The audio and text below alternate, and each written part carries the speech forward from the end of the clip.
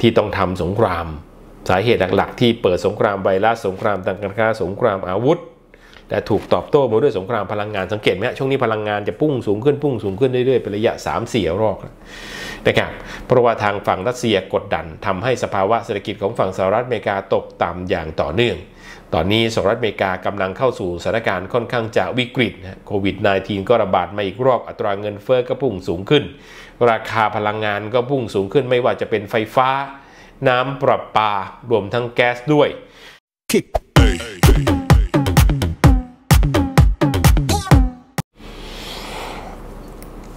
สวัสดีครับมาพบกับผมเทอศักดิ์จิมกิจวัฒนาครับ วันนี้ก็สวัสดีหุ้นส่วนที่รับชมทุกแพลตฟอร์มของสำนักข่าววิหกนิวส์นะครับ วันนี้ประเด็นที่น่าสนใจ นะครับเป็นเรื่องราวของการต่างประเทศ การต่างประเทศตอนนี้ต้องยอมรับนะครับหลายเรื่องส่งผลกระทบต่อสภาวะเศรษฐกิจสังคมรวมทั้งการเมือง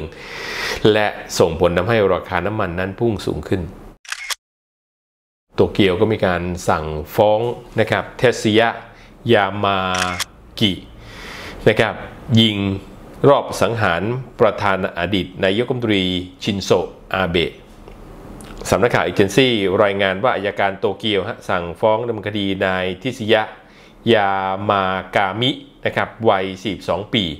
คนร้ายใช้ปืนยิงอดีต นายกรัฐมนตรีชินโซอาเบะเสียชีวิตเมื่อเดือนกรกฎาคมที่แล้ว ระหว่างกำลังช่วยลูกพักหาเสียงในจังหวัดนารา แต่ศาลยังไม่มี กำหนดวันไต่สวนฮะออกมาอย่างเป็นทางการ ในขณะที่สถานการณ์ตอนนี้ปรากฏว่ายังคงไร้วี่แววในการเจรจาสหรัฐอเมริกาพันธมิตร แห่เติมอาวุธให้กับทางยูเครนอย่างต่อเนื่อง รัสเซียยกระดับ 3 นิวเคลียร์นะครับพลิกเกมสงคราม สื่อตะวันตกได้มีการวิเคราะห์สถานการณ์ว่ารัสเซียเตรียมยกระดับกองกำลังนิวเคลียร์ทั้ง 3 เหล่าทัพของประเทศ รวมทั้งปรับปรุง คลังแสงและเพิ่มเทคโนโลยีการบิน หลังจากที่ประสบความพ่ายแพ้ต่อเนื่องในสมรภูมิยูเครนขณะที่องค์การสนธิสัญญาแอตแลนติกเหนือหรือนาโตนะครับประกาศจับมือสหภาพยุโรปหรือ EU อัดฉีดอาวุธช่วยเคียฟทั้งกลาง สัญญาณเตือนว่ารัสเซียอาจจะเปิดแนวรบใหม่ ในอีกไม่ช้านี้ เป็นเรื่องราวที่ดราม่ากันสนั่นฮะเจ้าสาวจีนปล่อยโฮแต่งงานทั้งที่ไม่ได้รักนะครับ แต่ฝืนใจทำเพื่อความสุขของพ่อแม่ สาวจีนวัย 20 ปีนะครับจุดประเด็นดราม่าบนโลกโซเชียลมีเดียหลังจากที่มีการเผยแพร่คลิปเธอร้องไห้ออกมากลางพิธีแต่งงานเนื่องจากไม่ได้รักเจ้าบ่าว แต่ต้องยอมเข้าวิวาเพื่อเติมเต็มความหวังของพ่อแม่ หนังสือพิมพ์ South China Morning Post นะครับหยิบประเด็นไวรัลในสื่อสังคมออนไลน์ ของจีนมาทำการตีแผ่ เมื่อสาวแซ่หยันจากมณฑลกุ้ยโจวนะครับได้โพสต์ข้อความระบายว่า เธอไม่ได้เต็มใจทำงานกับผู้ชายที่เธอพบเจอผ่านทางนัดบอร์ดนะครับในคลิปวิดีโอแต่งงานหยันนะครับซึ่งสวมชุดสีขาว มีสีหน้าอมทุกตลอดเวลา ก่อนจะหันหน้าหนีกล้องพร้อมปล่อยโฮอย่างสุดกลั้น ยอมรับว่าแม้ไม่อยากจะแต่งก็ต้องยอมทำเพื่อรักษาประเพณี และเติมเต็มความหวังของพ่อแม่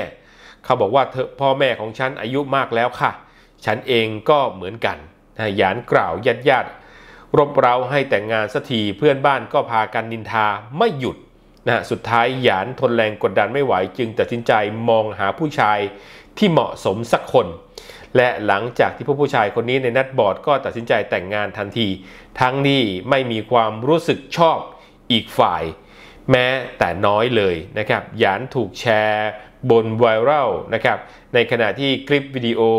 ก็มีผู้สนใจแสดงความคิดเห็นกว่า 11,000 คอมเมนต์เลยทีเดียว ในขณะที่สหรัฐอเมริกาก็ไต่บันไดทำให้สถานการณ์ยูเครนนะครับบานปลาย ขยายตัวเพิ่มมากขึ้น รายงานของฝ่ายรัสเซียนะครับมักอ้างอย่างเปิดเผยอยู่บ่อยๆว่า ระบบขีปนาวุธนะครับที่ก้าวล้ำของสหรัฐอเมริกาจัดส่งให้กับยูเครนนั้น ปรากฏว่าในความเป็นจริงก็ควบคุมการใช้งานโดยบุคลากรของสหรัฐอเมริกา แต่แน่นอนทีเดียวว่าการสังหารบุคคลทางการทหารของอเมริกันใด ๆ ในยูเครน จะต้องกลายเป็นพาดหัว ในวงจรข่าวสารของสหรัฐอเมริกา ซึ่งสามารถสร้างความเสียหายรุนแรงให้แก่คณะบริหารไบเดน เท่าที่ผ่านมาจนถึงเวลานี้ยังไม่มีกรณีถุงบรรจุศพของทหารยูเครนไปยังสหรัฐอเมริกา เกิดขึ้นแม้แต่กรณีเดียว กรณีที่นายพลรัสเซียอาจจะติดตามเรียกร้องเรื่องนี้กันอยู่เป็นไปได้นะครับ ในขณะที่ประธานาธิบดีโจไบเดนรับคิชิดะเยือนทำเนียบขาวนะครับ ยันสหรัฐอเมริกามุ่งมั่น ป้องกันญี่ปุ่นอย่างเต็มที่ ประธานาธิบดีโจไบเดนของสหรัฐอเมริกาได้ให้คำมั่นกับนายยงตรีฟูมิโอะนะครับคิชิดะว่าสหรัฐพร้อมจะสนับสนุนญี่ปุ่นในการป้องกันประเทศอย่างเต็มที่ครอบคลุมและสมบูรณ์พร้อมกล่าวชื่นชมโตเกียว ที่ตัดสินใจทุ่มงบประมาณเสริมเขี้ยวเล็บทางการอาหารครั้งใหญ่ โดยซื้ออาวุธจากฝั่งสหรัฐอเมริกาในการเดินทางเยือนวอชิงตันเป็นจุดหมายปลายทาง ในการทัวร์กลุ่มชาติอุตสาหกรรม ชั้นนำ G7 โดยหวังจะเสริมสร้างความเข้มแข็งให้กลุ่มพันธมิตร ท่ามกลางความกังวลของญี่ปุ่นสหรัฐอเมริกาเกี่ยวกับพฤติกรรมของจีนเกาหลีเหนือ และรัสเซียที่เป็นภัยคุกคามด้านความมั่นคงของภูมิภาค ในขณะที่เยเลนเผยสหรัฐอเมริกาจอ ชนเพดาน 19 มกราคมเตือนความเสี่ยงผิดชำระหนี้ เจเน็ตเยเลนนะครับ รัฐมนตรีกระทรวงการคลังของสหรัฐอเมริกา ออกมาเตือนอย่างเป็นทางการว่าหนี้สินของสหรัฐอเมริกาจะพุ่งเพดานสูงสุด 31.4 ล้านล้านดอลลาร์สหรัฐในวันที่ 19 มกราคม และกรณีดังกล่าวกระทรวงการคลังต้องใช้มาตรการพิเศษจัดการเงินสด ซึ่งจะช่วยยื้อ การผิดนัดชำระหนี้เอาไว้ถึงแค่เดือนมิถุนายน เมื่อหนี้สินชนเพดาน กระทรวงการคลังต้องจำเป็นใช้มาตรการพิเศษบางอย่าง เพื่อป้องกันไม่ให้สหรัฐอเมริกาผิดชำระหนี้เยเรนระบุในจดหมายที่ส่งถึงเควินแมคคาที่ประธานสภาผู้แทนราษฎรของฝั่งสหรัฐอเมริกา และพรรคริพับลิกันจากบรรดาผู้นำของสภาคองเกรสคนอื่นๆ เธอเรียกร้องให้สภาคองเกรสเร่งอนุมัติขยายเพดานหนี้เพื่อปกป้องความเชื่อมั่นและเครดิตของสหรัฐอเมริกา เธอระบุว่าแม้กระทรวงการคลังจะยังไม่สามารถประเมินได้ว่า มาตรการพิเศษที่จะสามารถช่วยให้เราชำระหนี้ตามกำหนดได้นานแค่ไหนแต่เชื่อว่า น่าจะยื้อไปได้จนถึงต้นเดือนมิถุนายนนะครับในขณะที่การรัสเซียฝังศพชายฆ่าแม่เยี่ยงวีรบุรุษนะหลังสมัครไปรบและตายในยูเครน ทหารรัสเซียก่อการสังหารแม่ของตัวเอง ได้รับการฝังศพเยี่ยงวีรบุรุษหลังสมัครเข้าไปร่วมรบในสงครามยูเครนและเสียชีวิต The Insider นะครับสื่อออนไลน์ของลัตเวีย รายงานว่าเซียเกโมร็อกซอฟนะครับวัย 46 ปีเสียชีวิตระหว่างทำสงครามในยูเครน และศพของเขาถูกส่งกลับมาประกอบพิธีอย่างสมเกียรติ ตามแบบทหารที่เมืองเซลอฟในรัสเซีย รายงานแจ้งว่าผู้เสียชีวิต ไม่ระบุว่าเสียชีวิตด้วยสาเหตุใดและเมื่อไหร่นะครับ ซึ่งโมร็อกซอฟเป็นหนึ่งในสมาชิก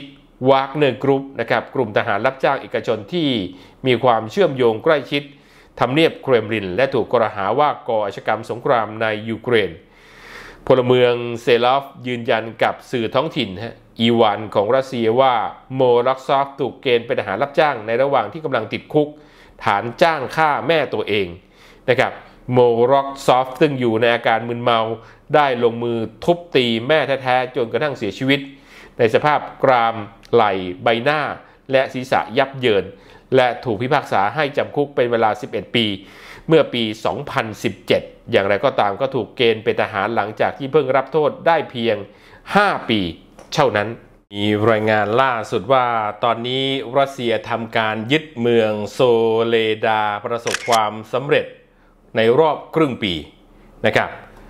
กระทรวงกลาโหมของรัสเซียออกมาแถลงยืนยันอย่างเป็นทางการว่าหน่วยรบรัสเซียประสบความสำเร็จในการปลดปล่อยเมืองโซเลดาหนึ่งในแนวป้องกันสำคัญของยูเครนทางตอนเหนือของเมืองบักมุดนะครับจังหวัดโดเนส สมรภูมิที่ทั้งสองฝ่ายกำลังชิงชัยกันอย่างหนักหน่วงนะครับสำนักข่าวต่างประเทศรายงานว่า กรณีนี้ถือเป็นคำประกาศชัยชนะของกองทัพรัสเซียครั้งแรก ในรอบเกือบ 6 เดือน และมีขึ้นกร้อยหลังทหารรับจ้างวากเนอร์นะครับฝ่ายรัสเซียประประสบความสำเร็จในการปลดปล่อยเมืองโซเดลานะครับตามมาด้วยแถลงการณ์ปฏิเสธใน โวโลดีมีร์ เซเลนสกี้ประธานาธิบดียูเครนนะครับเมื่อ 11 มกราที่ผ่านมาการยึดครองเมืองโซเลดานะครับสร้างความเป็นไปได้ ที่จะทำให้กองกำลังรัสเซียทำการตัดสเสบียงโอบล้อมเมืองมาบากมุดนะครับทางตอนใต้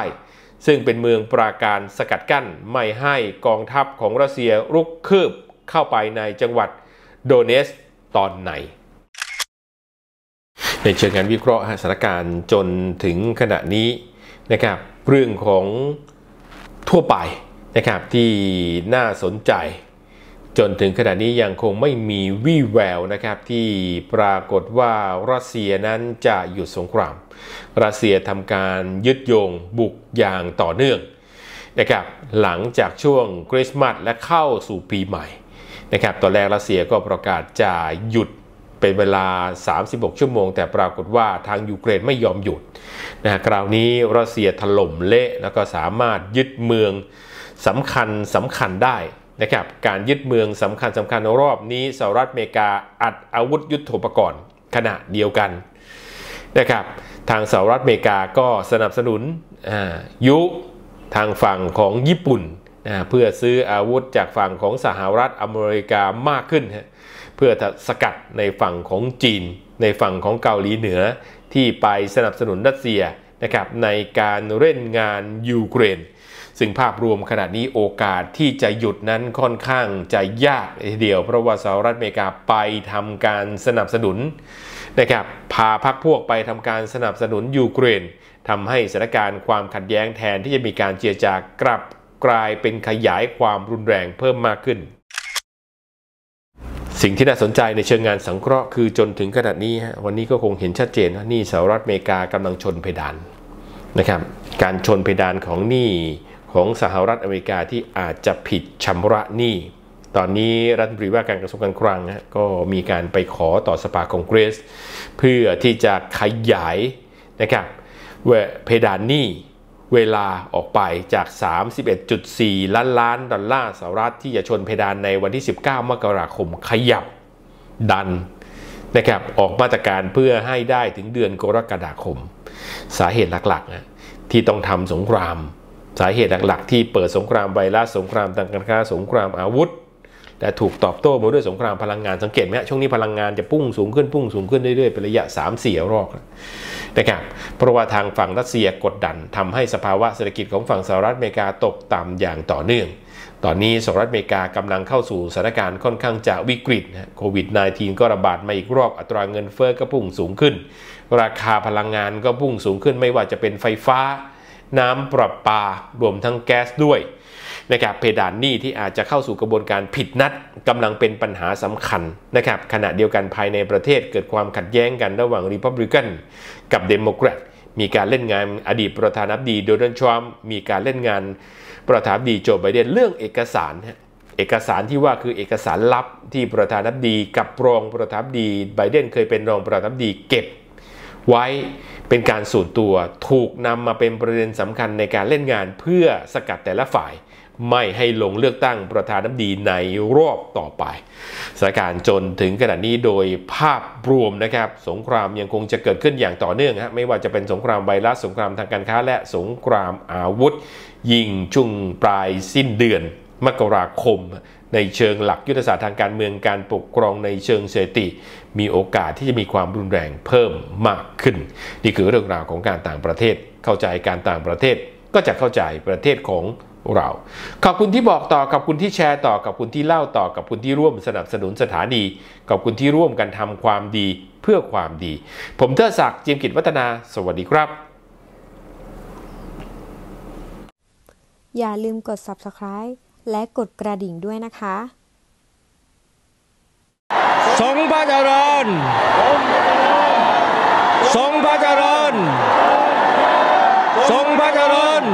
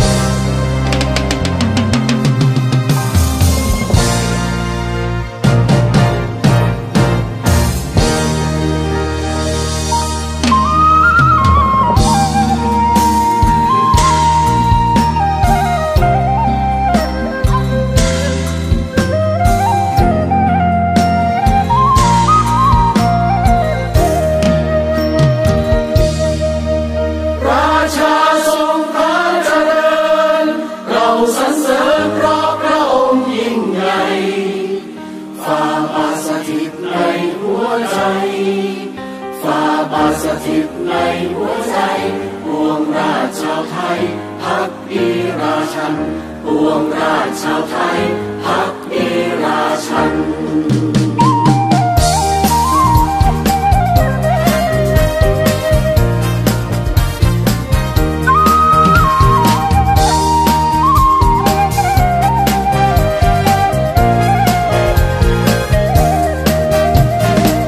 ฟ้าคอยหมู่ใยแผ่นดินทินทาน ฟ้ามาประทานฝนโปรยชุ่มช่ำ ฟ้าผ่าหวานดำพืชผลได้กิน ฟ้าเดินติดดินรักมวลหมู่ชน ฟ้ามีเมตตาห่วงปวงประชา ฟ้าคอยห่วงหาอาทรผู้คน ฟ้าผ่ามาจนผ่านพ้นโพยภัย ฟ้าปันแบ่งไปนำใจเลิศล้นแผ่นดินนี้รัชกาลที่สิบ ให้สัญญา พ่อผู้มีพลไม่ทิ้งประชาชนของพระองค์ราชัน ไม่ทิ้งประชาชนของพระองค์ราชันฟ้าทรงปกครองแผ่นดินไทยไว้ ฟ้าฟันฝ่าภัยไม่เคยไว้วันฟ้าทรงผูกพันไพร่ฟ้าชาวไทย ฟ้าทรงสุขใจถ้าไทยร่มเย็น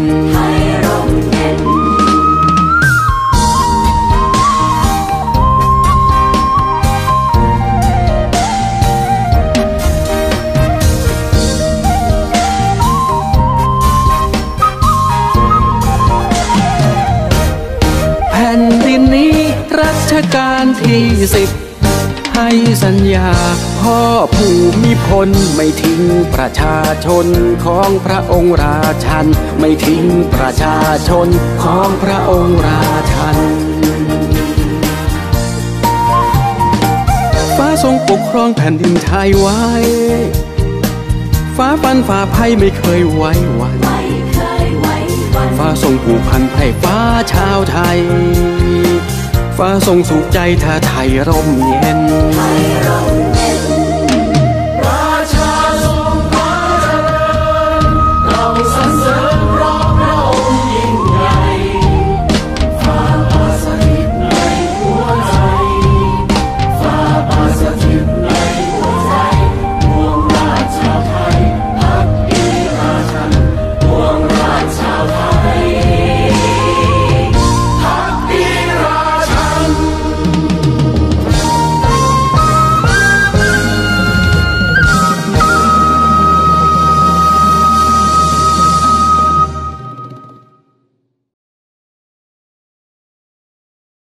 kick